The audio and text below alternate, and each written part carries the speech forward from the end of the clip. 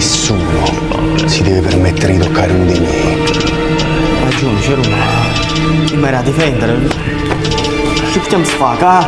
Io a te non ti capisco.